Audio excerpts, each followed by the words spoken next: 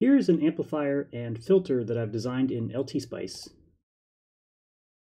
We've got a high-pass filter, and then an op-amp-based non-inverting amplifier, and then a low-pass filter.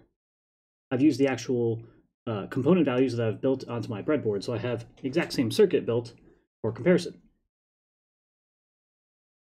Now, what we've done here is uh, I've picked a high-pass filter and low-pass filter uh, cutoff frequencies. The cutoff frequency is 1 over 2 pi RC.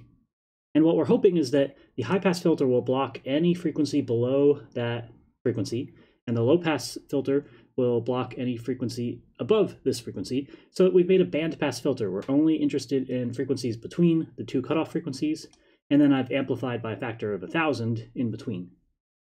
And we can simulate uh, from 1 to 10 kilohertz what this uh, circuit does. So I, will, I can always check to make sure that my input is correct. My input should be flat, 0 dB um, across the entire frequency space. And then I can see the effect of my high pass filter. This looks like something around a 10 hertz high pass filter. And then I have an amplifier stage, which is the same thing as my high pass, just multiplied by a thousand. And then I've got my low pass filter, which is attenuating these high frequencies. And we're not very interested in the plot, so uh, the phase, so I will turn off the phase. And hopefully you can see this in the video, but we've got uh, a transition from uh, attenuated um, low frequencies and then these amplified uh, middle frequencies and then uh, a roll off with the low pass filter towards the end.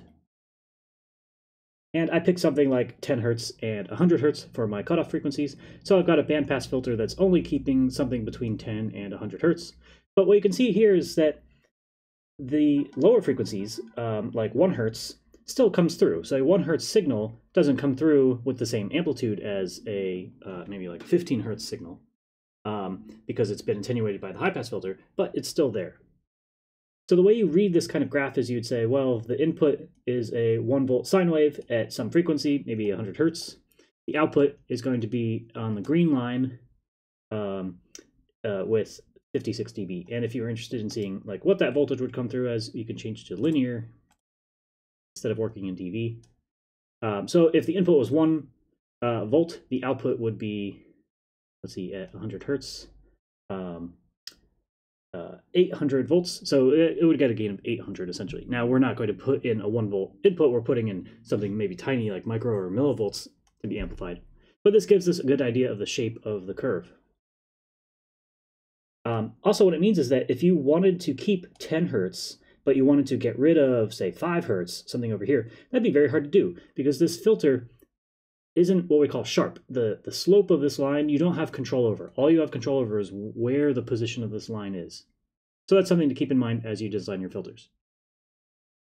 Now, I said I built this uh, circuit um, and put it onto my Nscope board, and I used a microphone as the input. So I'm looking at uh, two voltages in this case. Um, the red channel 1 is the uh, output of the amplifier, and the green channel, channel 2, is the output of the uh, low pass filter. So both of these have been high passed. That's why their mean is approximately zero. And I can talk into it like this, and we can see the effect of my voice. And you can kind of see that the amplitude of the red is bigger than green because the green has been low pass filtered. But at this uh, sweep frequency, um, you know, my, the sound of my voice is in the hundreds of hertz, so we're going too slow to see any any of that. So I will um, zoom in to like a 10 millisecond per division timescale. And now when I talk into uh, the microphone, we can see I've got some high frequency components of my voice in red, and the, the low pass version, which is just keeping um, you know things below 100 hertz, uh, is much smoother. Now the frequency of uh, the human voice tends to be you know as a peak between 85 and 200 hertz, so that's why I filtered around 100 hertz. I didn't want to keep any of the kilohertz level uh, signals. Um, that would be like instrumentals if you were playing music. Um, I can generate that with my mouth, though. I can whistle. And so you probably saw some uh, high frequency uh, sine wave on top of the red voltage, um, whereas the green filtered that out. And an interesting uh, problem would be how can I generate a whistle that shows up on the green one and the red one? I'd have to whistle below 100 hertz. I don't think I can do that. So here instead I'm just kind of blowing on it, making a sound white noise.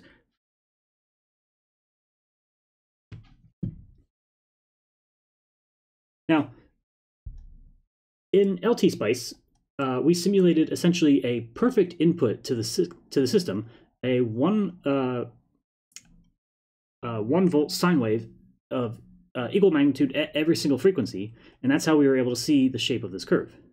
I can't generate a perfect uh, input like that on my uh, microphone. Instead, all I can do is kind of blow on it, trying to make a white noise like a sound. That should be kind of equal amounts of energy at every single frequency. And then what we can do is we can go into um, Nscope, we can save some data. So I'll go, I don't want to blow too hard. If we see it hitting plus and minus five, that's railing, that's going to mess things up. So you want to make your signal as big as you can without clipping, hitting plus and minus five. And then what we'll do is we'll take this time-based data and turn it into frequency-based data and see if we can pull out that curve uh, that we saw in LT Spice. And I'll take a couple pieces of data. One will be a whistle, just to see the, what the effect of having one really strong frequency in there is. And then I'll take another piece of data. It's more like white noise just blowing on uh, on the uh, microphone. Um, let's take a look at some code that uh, opens my uh, CSV file and uh, creates what we call the FFT or fast Fourier transform that turns my time-based data into frequency-based data. So the first thing we do is we open up our CSV file and we append uh, all of the data out of the CSV into uh, lists. So I've got a time list and then data one and data two. That corresponds to my channel one and channel two data. And I could plot it just to make sure um, there's a sanity check that the data is there and, and looks nice. The interesting thing we're doing in this lab is using the uh, package NumPy um, that I'm renaming NP to compute the FFT or fast Fourier transform of my data, taking it from the time domain into the frequency domain. Um, so there are some fixed steps to do this, and I've doubled it up here because I have two signals to work with. Um, the first thing we need to know is the sampling frequency um, that the Nscope was using, I'm going to calculate the sampling frequency by uh, looking at the length of my data uh, divided by the total amount of time um, that the, the sample happened to occurred in. Now, and pretty soon we'll actually be using the Nscope API and we'll be setting a desired sample frequency. Here we still have to compute the sample frequency based on the data. Um, then we make a time vector. We I, am renaming my uh, my channel one, channel two data y1 and y2 and I'm going through the following steps to compute the FFT. Here's what actually occurs. And then we're taking what they call the half side FFT. Um, so we're uh, throwing away half the data.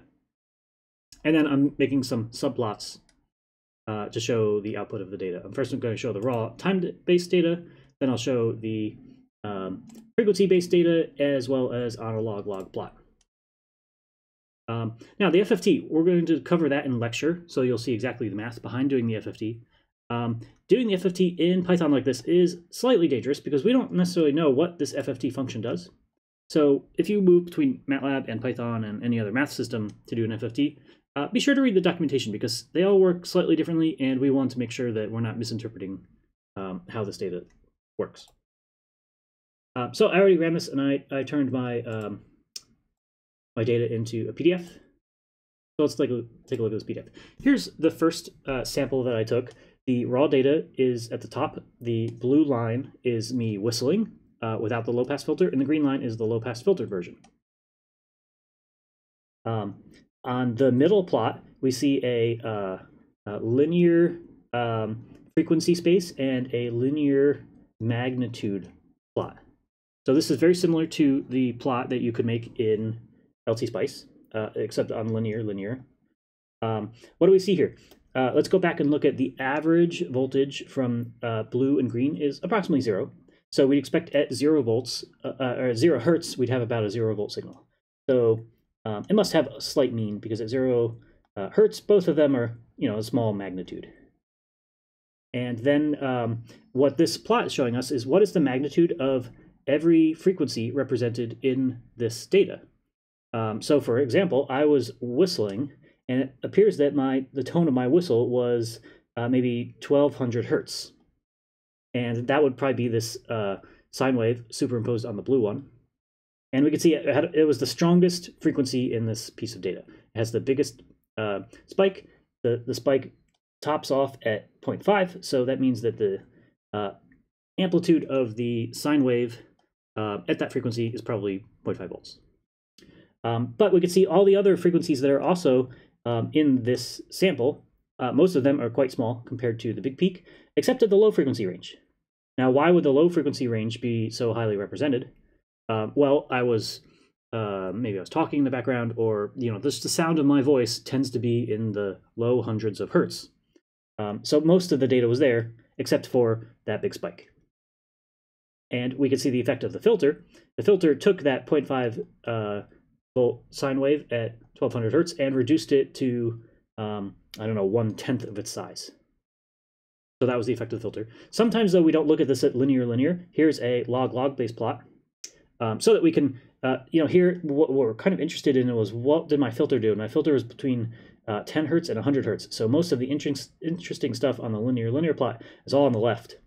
On a log-log scale, uh, now most of the interesting stuff between, uh, let's see, 10 hertz and 100 uh, hertz is kind of in the middle, so we could see a better effect of uh, what my filter did, or the so let's say the unfiltered area compared to the filter area. And here you can really see the effect of um, the filter um, on the blue and the green.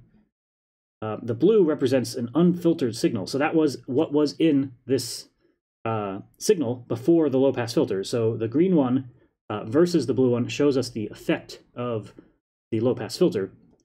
Um, so if you want to compare this uh, graph to the graph that you're getting from LT-Spice, you basically have to remember that the LT-Spice graph has a perfect representation of every frequency having an equal amplitude.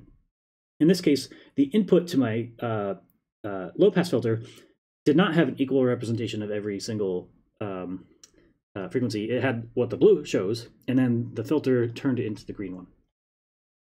Okay, let's look at one more piece of data. Um, here's me more like blowing onto the filter, trying to simulate white noise. So I, I want something like. Okay, and now we can see on the linear linear scale, um, all of the uh, signal that came into blue has, um, you know, everything's basically below two kilohertz. There's, there wasn't any higher uh, frequency in there. Um, below a thousand hertz, uh, there was a lot of signal, let's say between 500 and a thousand hertz. And the effect of the low pass filter uh, said, well, I'm only interested in things about uh, between 10 and 100 hertz. So at 100 hertz, um, the green signal starts to become much smaller than the blue signal. And we can see that the effect of the uh, filter more kind of better on the log-log based uh, plot. Okay, there's a lot of math that goes into this. Uh, one key thing is that there is a maximum frequency that the FFT can resolve. That's called the Nyquist frequency, and that is half the sample frequency. So I didn't show uh, what that calculation was, although it was used in the calculation in Python. Um, but here the uh, the sampling rate must have been 10 kilohertz. So the highest frequency we can resolve is uh, 5 kilohertz. Um, the zero hertz component shows us the mean. That's interesting. Note that the data points aren't evenly spaced. Uh, or well, they are evenly spaced, but when we go to the log-log plot, that means they're no longer evenly spaced. So when we're trying to look at this data, we have lots of data up in the high frequency range compared to not so much data in the low frequency range. So when you're thinking about how do I, you know, increase the resolution of this uh, graph, because I want to see more, maybe more data points between 100 hertz and 1000 hertz, um, you have uh, two options. One is you can increase the sample frequency um, or the other is take more data. So in this case, I only took um, 120 milliseconds of data. Um, if I had taken a whole second worth of data at this frequency, I would have just had more data points to put into my FFT. So what we're going to be doing with this from now on is um, using the data that we record to choose the filter frequencies. So the first thing we'll do is we'll try to amplify signals that we acquire so that they're big enough to see. We'll take the FFT of that data to see what the frequency contents are. That'll help us pick uh, high pass and low pass cutoff frequencies to say pick, well, I'm only interested in this case in maybe, um, you know, the 10 hertz range, but I, I want to make sure that I remove noise that is at 1,000 hertz. So that'll help me choose my uh, high pass, low pass, and gain.